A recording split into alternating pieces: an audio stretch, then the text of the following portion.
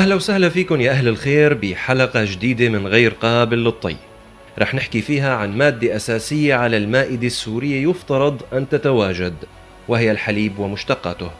من الملاحظ الارتفاع شبه الدائم في سعر هذه المادة مع انخفاض القدرة الشرائية للفرد وللجواب عن عدد من التساؤلات ومنها تسعير لتر الحليب الدورات العلفية للمباقر وجودة هذه المادة.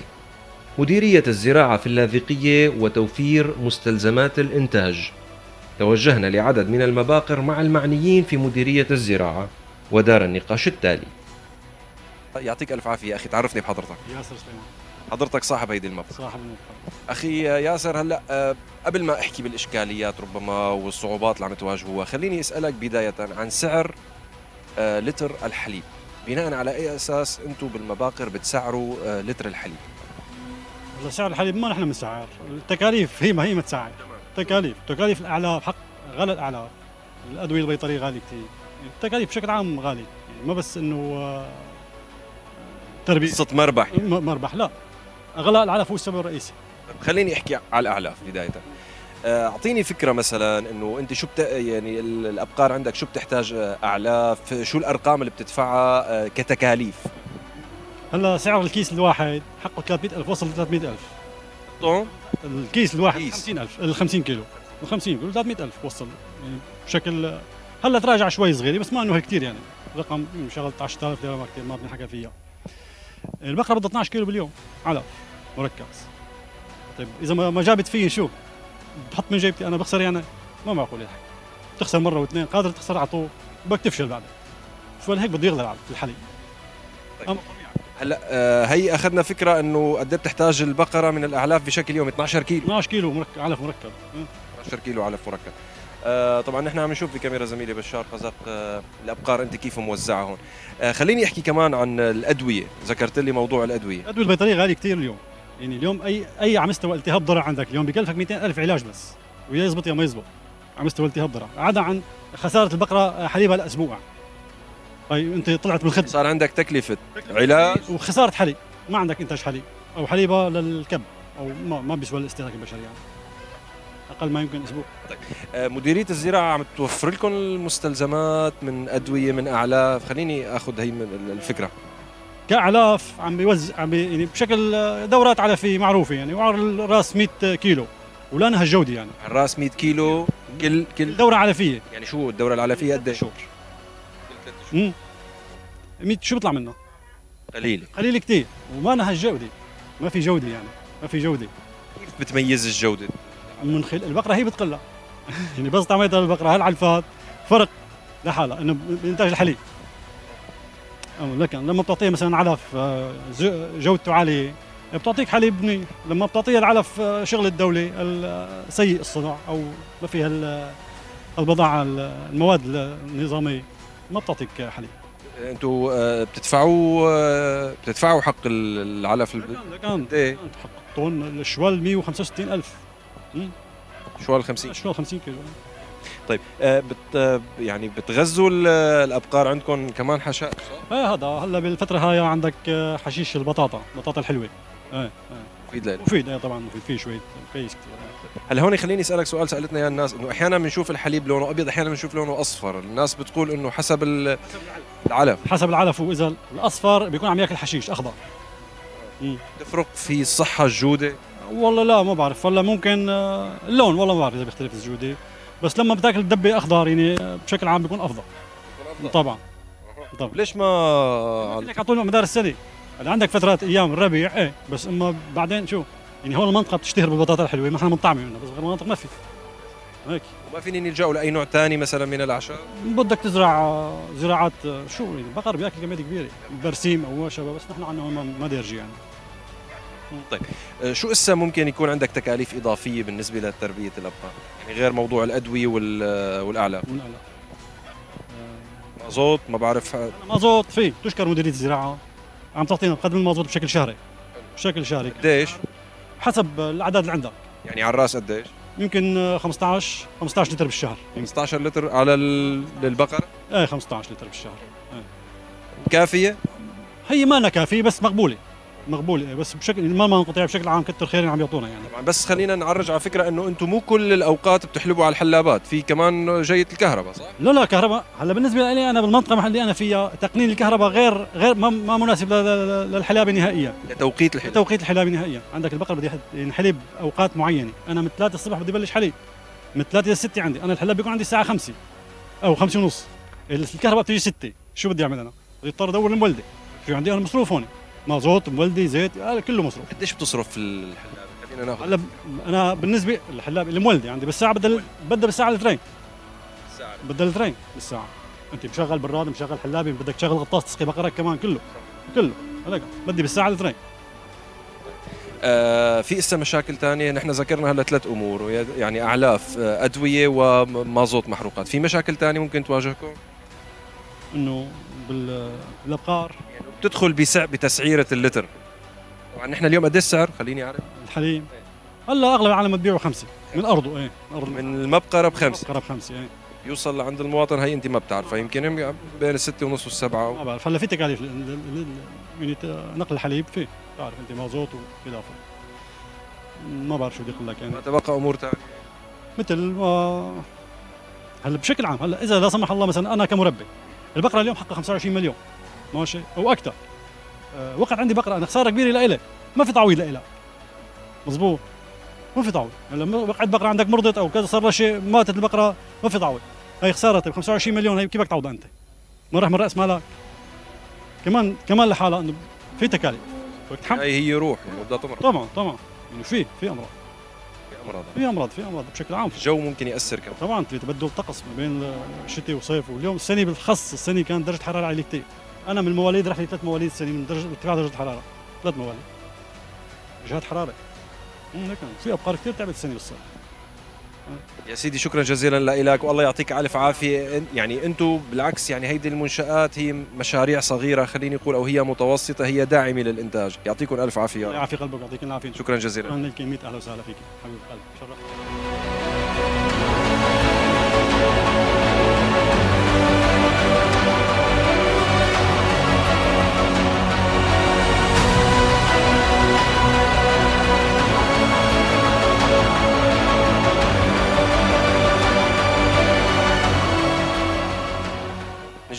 فيكم آه، مشاهدينا. مرحبا يعطيك العافية. تعرفيني بحضرتك. هلا ريماس جوني رئيس الوحده الارشاديه بمشقيتا أهلا وسهلا فيكي ست ريماز كنا عم نحكي مع صاحب أحد المباقر. أنا بدي أعرف من حضرتك إنه أنتم شو الخدمات اللي بتقدموها لأصحاب المباقر هنا آه، كوحدة إرشادية نحن بالدرجة الأولى الاستشارة. بيجي مثلا ممكن صاحب المبقرة أو البقرة أو أي شيء.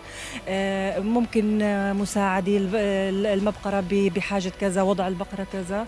بنبعث معه نحن الفني البيطري أو الطبيب البيطري آه، لإجراء كشف على الحالة آه، في استدعاء مثلا لمعالجه ممكن هو ي- يقوم بهالعملية هيدي عن طريق آه، يعني حدا تاني آه، أو إنه استشارة فقط لا غير. آه، هي اولا. ثانيا في حملات آه، اللقاح هيدي من من مديرية الزراعة. الفنيين البيطريين عندنا بيقوموا بهالجولة هيدي. آه، شيء ثاني نحن بنعمل جولة في عندنا شيء اسمه جولة الثروه الحيوانية.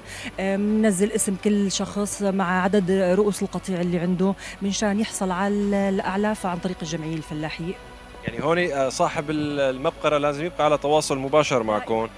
آه، طيب كونه هناك تواصل مباشر مع حضرتكم آه، ممكن يجيكم ربما شكاوي أو إن كان من الناس أو إن كان من أصحاب المباقر. لحضرتكم. ممكن توجهوه لجهة معينة يوجه الشكوى لإلى بحب أعرف هيدي التفاصيل لو سمحت. ممكن ممكن لربما مثلا أنا آه، لا خطأ ما أو إنه مثلا هو آه، زاد القطيع عنده بعد موضوع ال- الثروه الحيوان بعد موضوع التعداد هذا إنه أنا كان بدي أكثر مثلا إنه أعلاف زادت عندي المبقرة. هاي أكثر شيء مثلا ممكن شكوى. آه، أو ممكن هيك يعني مو أكثر من هيك. آه، أحيانا أو أكثر شيء إنه مثلا أنا وضع المبقرة عندي كذا أو وضع القطيع عندي كذا آه، أكثر شيء هي الشكاوي. طبعا آه، هو سؤال يمكن يسأل بآخر حرائق صارت يمكن الحمد لله ما في هون أضرار بالثروه الحيوانيه لا أضرار ثروه حيوانيه ما في ابدا الحمد لله. كشفنا على الكل. شكرا جزيلا لك. لو سهلا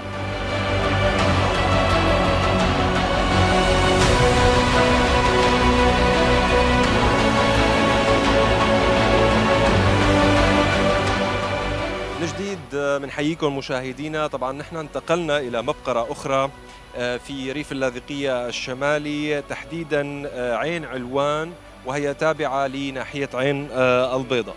مرحبا يعطيك العافية يا أخي. يعافيك أهلا عرفني بحضرتك. السيد جميل جوني. جميل وسهلا الله يخلي لي إياك. جميل جوني. جميل جوني. أهلا وسهلا فيك. أنت يعني صاحب مبقره صاحب مبقرة أيوه. الله يعطيك ألف عافية. أول شيء آه، دوما يعني نحن دوما هذا السؤال اللي بنسأله. سألنا مبقرة يعني في في في في وقت سابق من اليوم عن آه، كيف تسعرون لتر الحليب؟ بناء على شو هي يعني الإجراءات اللي بتأخذوها أو التكاليف يلي بناء عليها نحن بنسعر لتر الحليب؟ تكاليف استاذي الكريم على سعر العلف. سعر العلف شوي آه، سعر العلف غالي. يعني ما عم تتناسب مع سعر الحليب. لذلك عم يرفع سعر الحليب آه، سعر الحليب متدني عن سعر العلف والمادة العلفية أغلبها عم نجيبها يعني من القطاع الخاص والقطاع الخاص آه، بالإضافة إلى الوجه. غل طبعا والأعلاف مؤسسة الأعلاف آه، يعني مع ال- ال- للأسف سيئة كثير عم يعطونا أعلاف سيئة جدا جدا. خليني أحكي معك بهالنقطة. أول شيء شو معنى يعني سيئة؟ سيئة من ناحية الجودة ما فيها مادة خامة يعني ما فيها صويا ما فيها شيء أساسي. على الأخير ما فيها ولا نسبة قليلة؟ والله نسبة قليلة جدا. والبقر يعني ما عم يعطي حليب مردود ضعيف. يعني شهرين أر- أربع خمس شهور البقرة بعد العشر بتوقف على الحليب خالص. أول شيء كم في دورة علفيه بالسنة؟ أه ست دورات كل ست دورات. دورات كل شهرين آه، دورة. واللي اخذتوهم آه، بهي الدورات اللي ماضي كلياتها كانت سيئة؟ لا مقبولة إلى حد ما بس من دورتين وللحل سيئة جدا. دورتين؟ للحل سيئة جدا سيئة كثير. يعني وشفت لاحظت إن شفت ال... كنا عم نشوفهم إيه إنه كنت عم تخبرني الشعير؟ وهذا حب الشعير أكبر دليل على ذلك لك تطلع إنه كله حب شعير. الحب ال- يفترض يكون مطحون. مجروش هذا طبعا. ال- ال- البقر هذا لا يعني أبقار حلوب ما بيسوى. بده يكون له أغنام لماعز لخيل هذا ما بيسوى لبقر الحليب. ما بيستفاد منه شيء ابدا. مثل ما بتاكله الدبة بتروحها تماما. ما- سيء جدا. سيء كثير سيء. علف يفرق معك بإنتاج الحليب. طبعا سيء ما بيعطي إنتاج. هذا ما في إنتاج خالص. بتندن الحليب لأس يعني كثير بيدنا الحليب. يعني البقرة اللي عم تحلب 20 25 كيلو بيوصل على 10 15 كيلو ما ب... يعني بينزل النص تماما. ما في ما في شيء بيسوى ابدا. هلأ قد إيه سعر الحليب من عندك من المبقرة؟ خم... 5000 5000 5000 اي والله. كنت عم تخبرني إنه السعر متدني بالنسبة لسعر الأعلاف.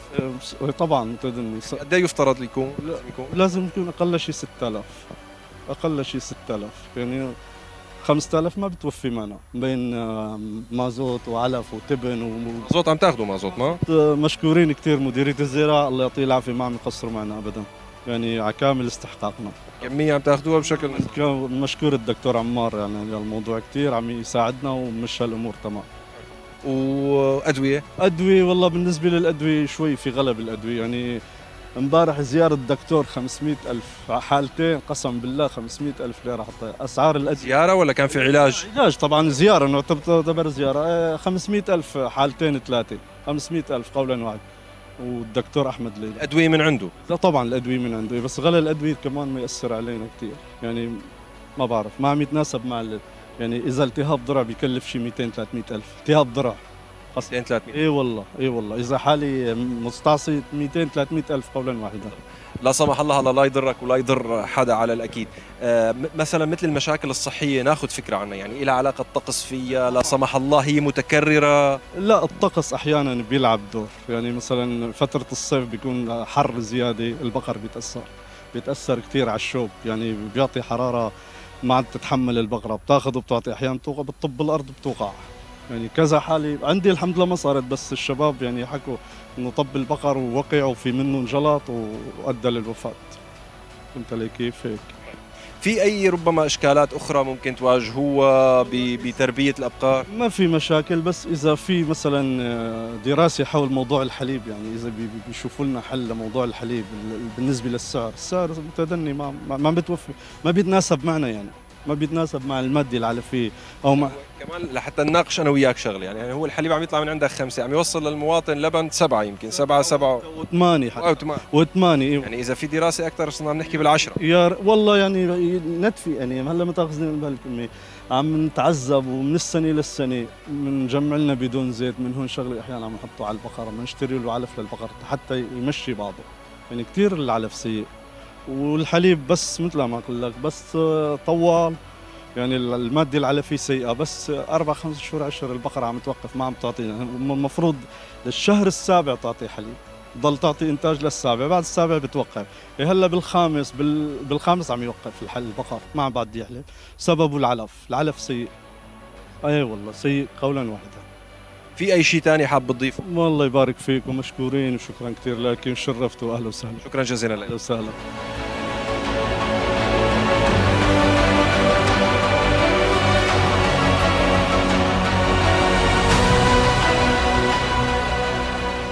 جديد بنرحب فيكم مشاهدينا الأكارم. طبعا بعد زيارة هذين الموقعين مجموعة من التساؤلات سوف ننقلها لمديرية الزراعة وتحديدا لشخص الدكتور عمار ناصر وهو رئيس دائرة زراعة منطقة اللاذقية. أول شيء دكتور أهلا وسهلا فيك ببرنامج غير قابل للطهي أهلا وسهلا فيكم. أهلا وسهلا.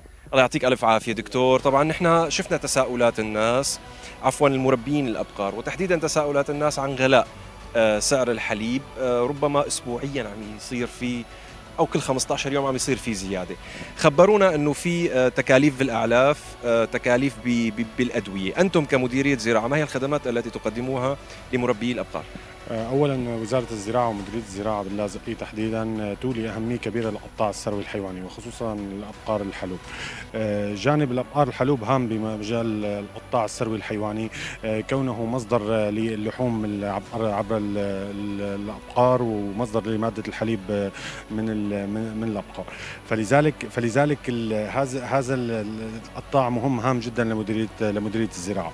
آه، مديرية الزراعة بتبدأ من جانب ال- على ال على ال على ال- المربين من خلال الأطباء البيطريين والمراقبين البيطريين الموجودين بالوحدات الإرشادية. آه، ثانيا موضوع حملات التحصين. آه، كل عام هناك عدد من حملات التحصين للأبقار آه، مثلا لامراض لأمراض معينة مثل الحمى القلاعي والتهاب الجلد الكتيل. آه، المرضين في جانب وقائي أو جانب تحصين لهم دائما بشكل سنوي بيتم هذا الموضوع. آه كمان موضوع تأمين مستلزمات الإنتاج. آه نحن كمديرية زراعة دورنا بما يخص الأعلاف هو إجراء الجولة الإحصائي آه للحصول على لتقديمها لمؤسسة الأعلاف للحصول على الأعلاف. فوحداتنا الإرشادية بيتم بيتم من خلالها أحصاء المربين الموجودين في القرى وأعطاء الجولة لمؤسسة الأعلاف حتى تعطي مخصصات كل كل مربي من الأعلاف. آه، ثاني شيء موضوع المازوت الزراعي. عندنا عندنا كمان هذا العام تم تقديم ال- المازوت الزراعي لكافة المربين وفق الكميات المخصصة وبالموعد المناسب بشكل شهري لكافة المربين. هلا خليني ادخل معك ببعض التفاصيل دكتور عمار. يعني خبرونا إنه المازوت وضعه تمام عم ياخذوه والكمية كافية. السعر المدعوم دائما بسعر سعر 2000 ليرة. 2000 ليره تمام. بما يتعلق بموضوع الأدوية يعني أنتم مش كل الأدوية تقدم لاصحاب المباقر صح؟ موضوع الموضوع الجانب نحن قلنا بنشارك بحملات التحصين حملات؟ حملات التحصين بهذا المجال. كم حملة سنويا هلأ موضوع في حملة للحمى القلاعية مرض الحمى القلاعية وحملة لالتهاب الجلد الكتيل مرة بالسنة يعني؟ دكتور آه، مرة تمام. وهي كافية؟ هلأ هي هي تحصين وقائي فهو كافي. فهو كافي. تمام بالنسبة لباقي أمراض ممكن تدعموا ال ال ال يعني المربي؟ دائما وحداتنا الإرشادية جاهزة وأي مساعدة ما بالنسبة لنا نحن جاهزين للتعاون بأي شيء. كافة ال- كاف يعني م... عندنا مراقبين بيطريين ودكاترة بيطريين أطباء بيطريين هن موضوع بيشرفوا على هالموضوع هذا وأي مساعدة نحن جاهزين بهذا الموضوع. بما يتعلق بالتسعير وجودة الأعلاف كمديرية زراعة أنتم يعني لا ما, ما لكم دخل؟ موضوع الاعلاف يقتصر على جانب جانب فقط الجولة الإحصائية لإحصاء المربين الموجودين بكافة القرى. آه، وزملائنا بالاعلاف هن اللي بيقدموا موضوع الاعلاف عن طريق آه، شكل فردي أو شكل تعاوني عبر أنتم فقط إحصاء بيانات إن صح. بيانات. شكرا جزيلا لك دكتور. يعطيكم العافية وشكرا لكم يعطيك ألف عافية. شكرا جزيلا.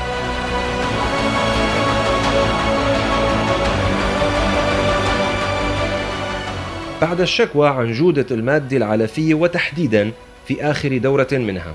أجرينا اتصالا مع مدير فرع أعلاف اللاذقية وكان جوابه كالتالي. معي على الهاتف المهندس ثائر حبيب وهو مدير مؤسسة الأعلاف. أول شيء أستاذ سائر أهلا وسهلا فيك. تحياتي لحضرتك ولكل الأخوة المتابعين. أستاذ سائر يعني آه، يعني رح خبرك مثل ما خبرونا الإخوة المربين آه، هنا إنه جودة الأعلاف هي منخفضة تحديدا الشعير غير مطحون جيدا وانخفاض بنسبة النخاله الموجودة في العلف. يا ريت تخبرنا عن تفاصيل هذا الموضوع. آه، بالأول نحن دائما وابدا بالمؤسسة العامة للأعلاف كإدارة وكفروع 13 موجوده بكل المحافظات. همنا الأساسي هو الوقوف على آه، مطالب وشكاوي وأي شيء بخص الأخوة المربين، نحن لولا أخوتنا المربين يعني نحن شغلنا ما كان يعني أي شيء، فنحن مصلحتهم. وصحة الحيوانات وحتى الزيادة بالمنتج من من أولى اهتماماتنا ومتابعتنا للمنتج الموجود عندنا ولكل المواد العلفيه سواء كانت مصنعة ولا بشكل الخام اللي نحن من بنوزعها بشكل مقننات ومخصصات عبر الدورات العلفيه. هلا فيما يخص جودة المنتج آه، هو حقيقة بالفترة الماضية نتيجة آه، يعني آه، خلل تقني بسيط معين بمعمل طل بالنسبة لجاهز الحلوب ونتيجة نحن خفضنا لحتى نطابق المواصفات القياسية السورية والمنتج من كل النواحي ليكون بأعلى يعني بأعلى درجات الجودة، نحن خفضنا نسبة النخاله ومقابله تم رفع قيمة المواد أو يعني نسبة المواد العلفية الخام الأخرى مثل كسبه الصويا والذرة والشعير. آه، للحفاظ على صحة الحيوان ولزيادة الإنتاجية لأعلى مستوى ولمطابقة المواصفات القياسيه السورية. هلا نتيجة آه، رفع مثلا نسبة الشعير آه، لوحظ إنه في بعض حبات الشعير غير مجروشه، هذا الموضوع متابع مباشرة نتيجة أول ما أجانا أول اتصالات هاتفية. نحن دغري خاطبنا الإدارة والإدارة يعني بشكل سريع تجاوبنا الموضوع وتم تشكيل فريق آه، لجنة للكشف على المعمل وتم معالجة الموضوع. يعني إحنا بنوعد أخوتنا المربين اعتبارا من خمس ست أيام الماضيين وجاي لبعدين يعني أي كمية رح تجي على فرع على اللاذقيه رح تكون الأمور وعلى كل الفروع طبعا. المنتجي بمعمل طبلات رح تكون الأمور بأحسن حال والشعير رح يكون مجروش. بس إحنا بنأكد لأنه ذكرت حضرتك إنه ما يشكو بموضوع الجودة من انخفاض آه، نسبة النخالة هلا هذا الموضوع نحن بالعكس هذا بيعزز آه، يعني آه، رأينا وفكرتنا إنه نحن عم نشتغل لرفع جودة المنتج. اليوم معلوم لكل الناس والعاملين بالقطاع اليوم لما نحن بنخفض نسبة النخالة فبالتالي نحن رح نزيد بالحالة هاي رح تزداد نسبة المواد العلفية الأخرى اللي هي بتحمل البروتين والطاقة لصحة الحيوان اللي هي كسبة الصويا والذرة والشعير فنحن لما بيقول الأخ المربي إنه والله انخفاض نسبة النخاله هذا بالعكس هذا بيعزز إنه نحن شغلنا بالاتجاه الصح. زائد نحن دائما وابدا في تحاليل دورية آه، مستحيل تطلع المادة من المعمل إذا ما كان خاضع لتحاليل دورية ومفاجئة. وإذا ما كنا حصلنا على نتائج التحليل اللي هي بتعطي أحسن القيم لا يمكن يتم توزيع هذا المنتج. تمام. آه، بس سؤال أخير لو سمحت آه، أستاذ سائر. يعني بما يتعلق بالكميات يعني الدورة العلفية هي 100 كيلو كل شهرين ربما. فينا آه، في يعني في مطلب إنه برفع هيدي الكمية. عظيم. حتى المطلب برفع الكمية كمان هذا بدلل إنه منتج المؤسسة عم ينال ثقة كبيرة من الأخوة المربين وهذا نحن طبعا وسام بنحطه على صدرنا طبعا أنا بس خليني أعرج على على نقطة آه، يعني أشار إلى أحد المربين آه، آه، أستاذ سائر إنه من من شهرين فقط إنه بدأوا يشتكوا. يعني الدورات العلفية اللي ما قبل كانت جيدة. لكن فقط نحن نحن ملاحظات الاخوه المربين على عيننا وراسنا ومطالبهم دائما محققه وملاحظاتهم وأي شكوى هي محط اهتمام ومتابعة من قبلنا بكل المستويات سواء كفرع ولا كإدارة. ونحن بنسعى بشكل دائم ويعني ومستمر للوصول لأعلى مراحل الجودة بالمنتج زائد لرفع المقنن العلفي لسؤالك اللي تفضلت فيه حضرتك. اليوم نحن بهمنا إنه بعد ما نثبت النوعيه والجودة بأعلى المستويات نحن نشتغل على زيادة المقننات العلفيه. هلا حقيقه هي الدورة العلفيه يعني اليوم على صدفة إنه اليوم مع اتصال حضرتك اليوم نهاية الدورة العلفيه الحالية اللي بلشت بسبعة بدأت بسبعة ثمانية يعني على مدار شهرين. هي بدأت ب 100 كيلو غرام جاهز حلوب للرأس حسب جداول التحصين ضد الحمى القلاعي لعام 2022 آه، زائد آه، عدلت بعدين أضيف له للرأس 10 كيلو غرام شعير اضافه للجهاز الحلوب هلأ من 10 أيام وتقريبا كمان تعدل المقنن. صار بحق له كمان يأخذ على الرأس 50 كيلو غرام جاهز حلوب زائد 2 كيلو غرام شوندر سكري آه، مجفف. بس هدول بيتاخذوا كتلة وحدة يعني.